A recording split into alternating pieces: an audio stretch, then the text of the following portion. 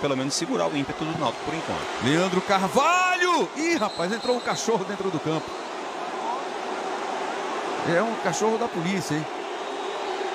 Rembrandt. Um policial canino dentro de campo.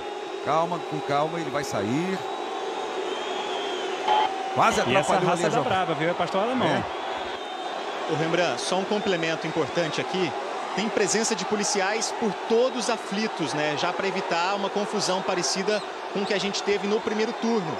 Quando o Retro venceu o jogo e teve uma briga muito grande entre torcedores do Náutico e jogadores também. Não aparece nenhum policial, né?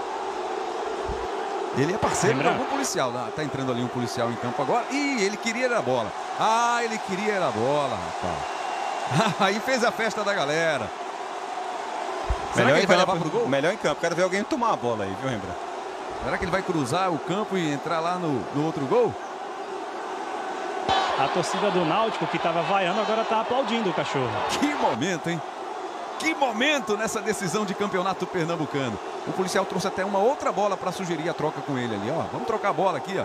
Ele entregou lá pro parceiro dele. Entregou o quê? Tá com ela ali firme. Já temos o craque do jogo, viu? E missão, missão pro Juan e pro Vitor descobrir o nome do craque do jogo aí.